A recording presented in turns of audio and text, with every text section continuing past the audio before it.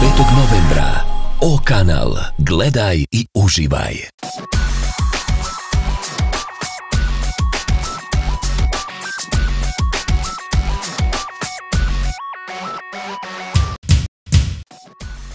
Dobro vam večer. Večerašnju emisiju počinjemo pričom o novoj tranši MMF-a.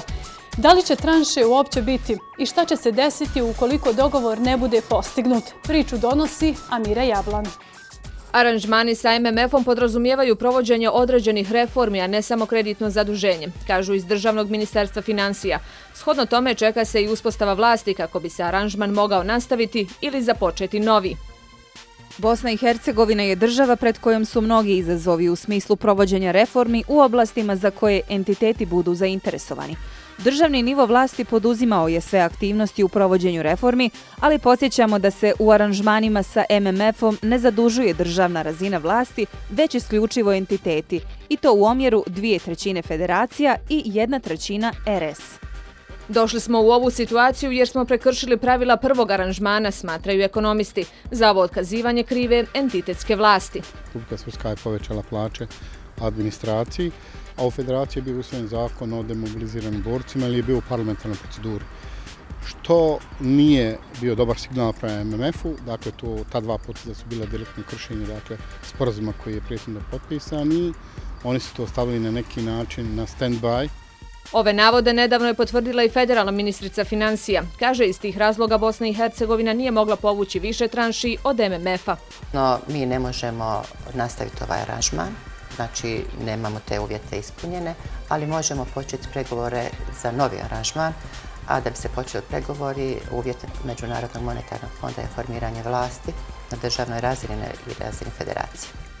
MMF nam kažu ekonomisti upravo zbog toga ne može vjerovati, jer ni godinu dana nakon izbora nemamo formiranu vlast. Vijeće ministara je u tehničkom mandatu, vlada federacije u tehničkom mandatu, prema tome, dakle, oni nemaju pravog sagovornika i ne znaju u biti s kim će potpisati taj ugovor i jednostavno ne znaju ko će biti nosilac izvršenja tog ugovora, jer kod nas još uvijek sve jako fluidno. Dok je povlačenje novca od MMF-a bilo stopirano, entiteti su se zaduživali kod komercijalnih banaka. Republika Srpska zadužila se više, a federacija je imala zadovoljavajući rast prihoda, pa se prema mišljenju Hurtića nedostatak sredstava od MMF-a do sada nije posebno osjetio. Ukoliko u budućnosti očekivanog priliva novca ipak ne bude, mogli bi ispaštati oni koji su najniže na socijalnoj ljestvici. U nastavku ćemo do Srebrenice. Čuvena Guber Banja uskoro bi mogla početi sa radom. Lokalne vlasti kažu da bi ovaj izvor ljekovite vode uskoro mogao postati izvor života u Srebrenici. Nekad poznata Guber Banja zarasla je u korov.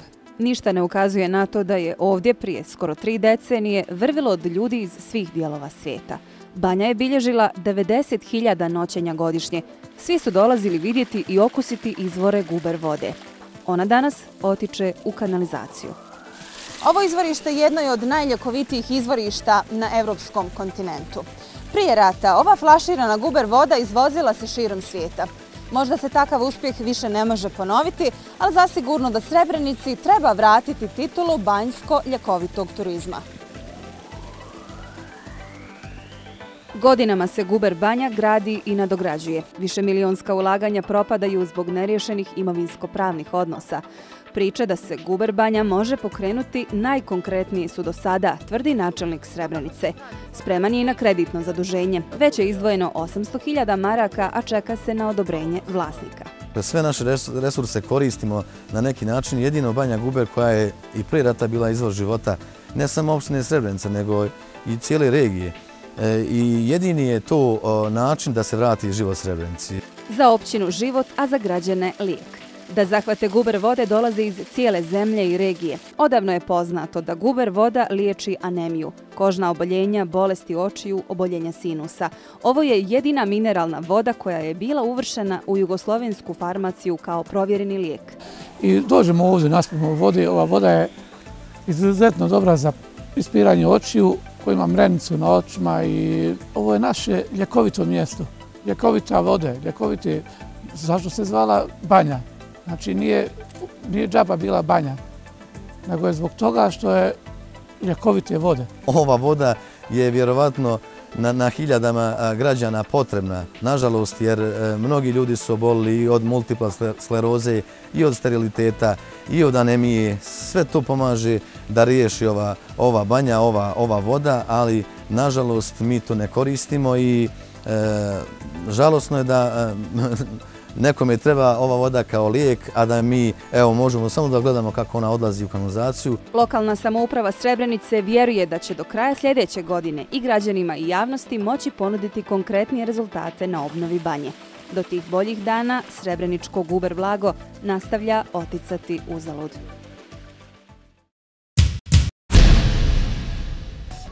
U Živinicama je otvoren novi tržni centar Bingo.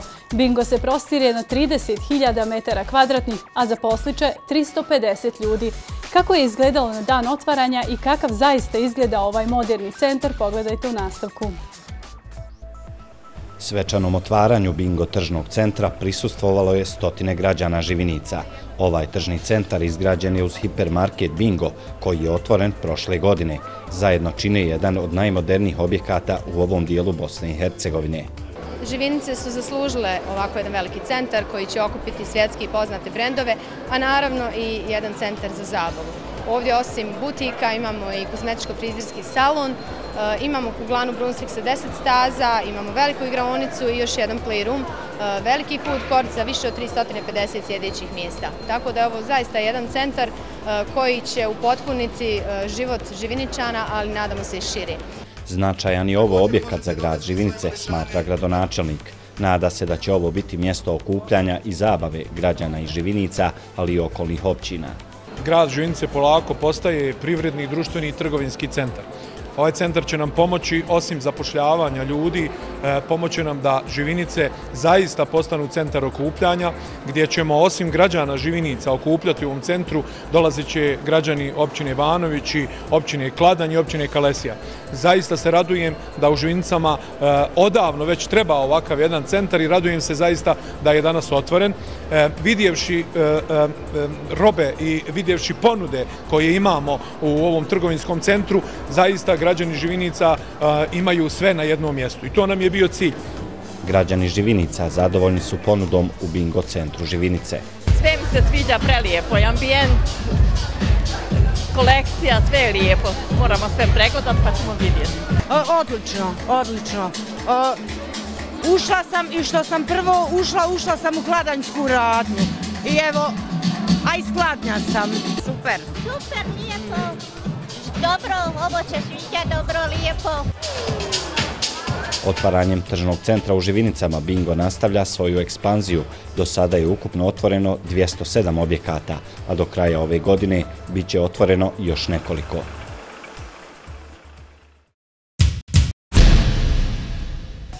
Kompanija AMCO proslavila je 24 godine postojanja. Tim povodom priredili su koncert za sve Sarajlije, sve goste koji su došli na njihov rođendan. Publiku je zabavljao Amel Ćurić, mnogobrojni sadržaj. Izvučene su i glavne nagrade Citroen C3, putovanje u Milan, ali i dva električna romobila. Pogledajte u nastavku kako izgleda kada Amko slavi rođendan. Proslava godišnjice ove domaće kompanije otvorena je kratkim osvrtom na historijat i poslovanje u BiH, a tokom cijele večeri na bini su se smjenjivali učesnici prigodnog programa od djece iz osam osnovnih škola, mađioničara, preko zumba instruktora Jasmina Begića i plesnog kluba Just Dance. Odlučili smo na jedan drugačiji način da proslavimo taj bitan jubilej za našu kompaniju, da počestimo građane našeg grada jednim velikim inventom otvorenog karaktera od 17 do 20 sati. Sve prisutne... Amko nije slavio samo večeras. U toku sedmice kada je naš rođendan u svim našim objektima pripremili smo niz pogodnosti kupovine, akcijskih cijena i sveženja, tako da su kupci ove sedmice zaista imali lijep razlog za dolazak u naše prodavnice. Građani koje smo zatekli bili su zadovoljni pripremljenim programom te su istakli da rado kupuju u Amku koji nudi veliki izbor proizvoda uz stalno dobre cijene. Super, ekstra. Šta posebno, šta, šta posebno kupujete? Pa obično prerambene proizvode, ove naše domaće i bosanske. Super, sve super, Amko je dobra organizacija. Domaće proizvode kupujemo. U Amku? Da. Zadovoljni ste uslugom? super. Iz Amko Komerca poruka za kraj da samo timski rad i zalaganje mogu ovu kompaniju zadržati na vrhu. Bez uposlenika, ova kompanija i svi njeni sadržaji na koje su ponosni ipak bi bili samo zgrade koje mogu i drugi izgraditi, kazali su iz Amko Komerca.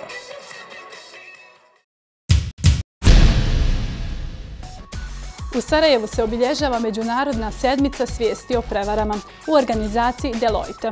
Šta sedmica podrazumijeva i koliko je značajna za Bosnu i Hercegovinu s obzirom da se prvi put održava u našoj zemlji, mi smo razgovarali sa Sabinom Softić, zastupnicom za Bosnu i Hercegovinu. U nastavku pogledajte razgovor. Gospođo Softić, šta je Međunarodna sedmica podizanja svijesti o prevarama? Radi se o globalnoj inicijativi koju je 2000. godine pokrenulo Udruženje certificiranih istraživača prevare. Cilj inicijative jeste da se kroz e, dijalog na teme sprečavanja korupcije, kriminala, prevare, na neki način izvrši osnaživanje društva, umrežavanje organizacija koje se bojere na e, sprečavanju ovakvih pojava, te edukacija javnosti o tim temama. E, ova sedmica se već godinama obilježava širom svijeta u terminu od 18. do 22. novembra i ove godine po prvi put u Bosni i Hercegovini Deloitte je e, na neki način pokrenuo obilježavanje ove sedmice. Ono sa čime smo mi stvarno iznenađeni i e, e, ponosni jeste činjenica da se obilježavanje ove inicijative pridružio veliki broj partnera, među kojima bih istakla da se obilježavanje ove sedmice e, obavlja, održava pod pokroviteljstvom predsjedavajućeg predsjedništva Bosne i Hercegovine, gospodina Željka Komšića, da nas je podržalo Ministarstvo sigurnosti Bosne i Hercegovine, Agencija za prevenciju korupcije i koordinacije borbe protiv korupcije u BiH, Ured za borbu korupcije i upravljanje kvalitetom kantona Sarajevo, GIZ, Ured Evropske unije, Fondacija Infohouse, Europska banka za obnovu i razvoj, Europska investicijska banka, Međunarodna financijska eh, korporacija, tri fakulteta Univerziteta u Sarajevu, eh, pravni fakultet, ekonomski fakultet i fakultet za kriminalistiku, kriminologiju i sigurnosne studije, te Centar za istraživanje politike suprostavljanja kriminalitetu i udruženja arbitri. Kao što vidite, Broj partnera i organizacija koje su uključene u ovu inicijativu govori o tome koliko je ova tema bitna i goruća tema za naše bosansko-hercegovačko društvo, te koliko postoji zainteresovanih koji bi zajednički pomogli i rade na sprečavanju kriminala i korupcije. Evo, kazali ste prvi put se e, održava u Bosni i Hercegovini. Koji su motivi? Zašto?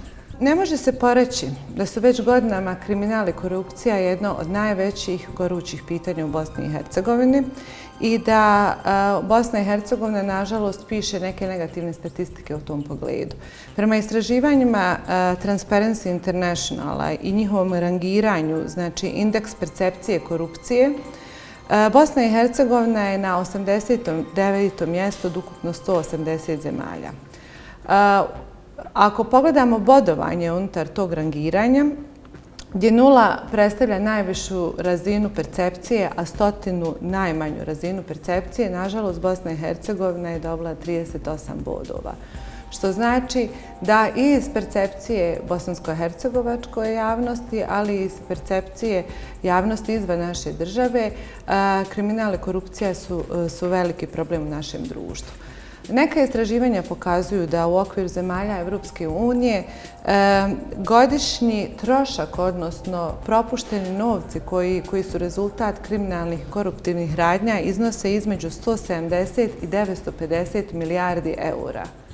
Nažalost, u Bosni i Hercegovini samo u domenu e, javnih nabavki procjene su da gubitak koji naše društvo tu ostvaruje iznosi između 250 i 300 miliona eura na godišnjoj razini. Naše društvo bi bilo mnogo ljepše društvo i za nas i za buduće generacije ukoliko bi te propuštene novce, 250 do 300 miliona eura, uložili u neke bolje svrhe. E, to je potaklo Deloitte da pokrene ovu temu. Mi smatramo da je veoma bitno da javnost edukujemo o ovim stvarima, da je veoma bitno da umrežavamo partnere i da pokušavamo svojim skromnim, de, svojim skromnim doprinesom da ipak napravimo pozitivan pomak u našoj državi.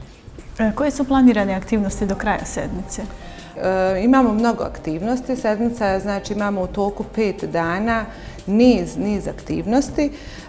I ono što bih ja navela jeste da smo mi veoma ponosne činjenice da se radi o o jednom događaju, odnosno nizu događaja koji svako može da prisustuje bez plaćanja kotizacije, ali naravno uz obaveznu registraciju. Sedmica počinje sa dva E, sa dva događaja koje se održavaju u Hotel Holiday, gdje, imamo, gdje smo imali i imamo e, stvarno prestižne govornike, goste i učesnike gdje se govori o raštim temama.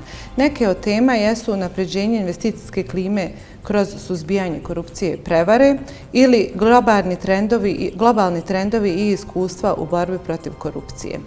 Na tim, na ta dva dana, na toj konferenciji koja, će, koja je u hotelu Holiday, koja je smještena u hotelu Holiday, imat ćemo i globalne, regionalne i lokalne stručnjake koji će govoriti na ovu, na ovu temu. Um, Zatim obrađivat ćemo temu cyber security-a i kriminala u, na internetu i u informacijalnim tehnologijama, te prevarama u javnim nabavkama i zaštiti zvižđača. Ponosno smo na činjenicu da će da, je, e, da će ambasada Sjedinja američkih država, ambasada Kraljevine Švedske i ambasada Velike Britanije kroz učešće svojih ambasadora također dati podršku našem, našem događaju i to nam na neki način daje odgovornost da nakon ove prve godine ova setnica postane tradicionalna u Bosni i Hercegovini, da sljedeće godine pokušamo da imamo još bolji, svrstishodniji i um, događaj koji će imati još bolji rezultate. E, posebnu pažnju posvetili ste mladima. Kažite nam o čemu je riječ. Pa jeste, mi smatramo da su mladi snaga ovog društva i želimo na neki način i da ih ohrabrimo, ali i da ih osnažimo kako bi osigurali da Bosna i Hercegovina bude bolje mjesto za njihovo, za njihovo sutra. Iz tog razloga smo u, u, zajedno sa fakultetima Univerziteta u Sarajevu, prvenstveno ekonomskim fakultetom, pravnim fakultetom i fakultetom za kriminalistiku, kriminologiju i sigurnosne studije pokrenuli niz aktivnosti. Jedna od aktivnosti jeste istraživanje percepcije koje studenti imaju o prevarama i o korupciji i to istraživanje se provodi u isto vrijeme na teritoriji Bosne i Hercegovine, ali naše kolege, odnosno naše sestrinske firme u Sloveniji i Hrvatskoj također provode isto istraživanje i mi ćemo u toku ove sedmice da prezentiramo rezultate tih istraživanja, jer nam je veoma bitno da čujemo glas mladih. Šta su to njihova mišljenja, gdje one smatraju da su najveći problemi i na koji način možemo eh, da pokušamo te probleme da riješimo.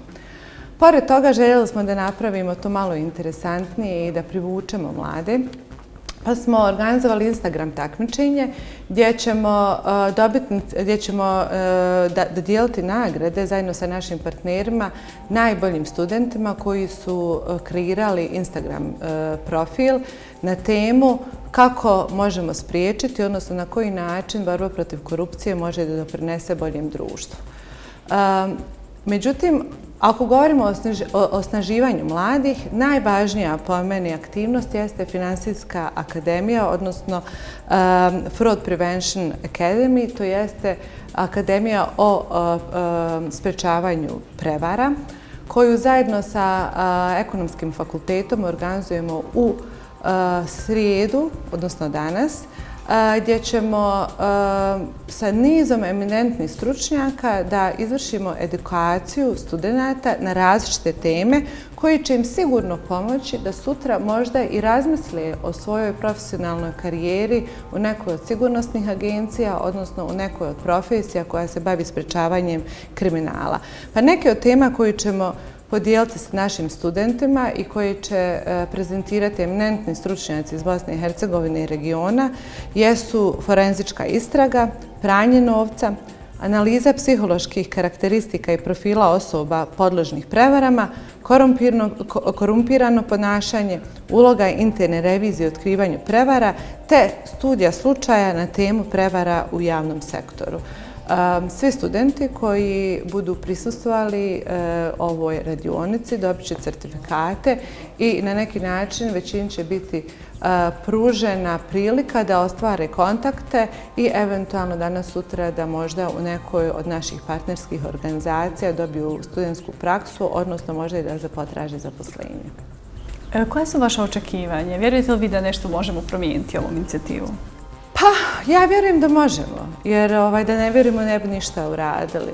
E, put za značajne rezultate treba da je vjerovatno dug, Međutim, e, mi kao, kao Deloitte i kao građani Bosne i Hercegovine stvarno smatramo da je, e, da je moguće da se izvrši promjena i upravo iz tog razloga mnogo nada polažemo u mlade ljude i veliki dio ove aktivnosti u stvari jeste rad sa mladim ljudima, kako bi ih osnažili, kako bi im pomogli da e, u svojim daljim planovima i da u budućnosti pomognu svima nama da budemo bolje mjesto za život. Hvala vam mnogo na ovom razgovoru. Hvala i vama. Za večeras toliko. Mi se vidimo za sedam dana iz novog studija o kanala. Do tada, doviđenja.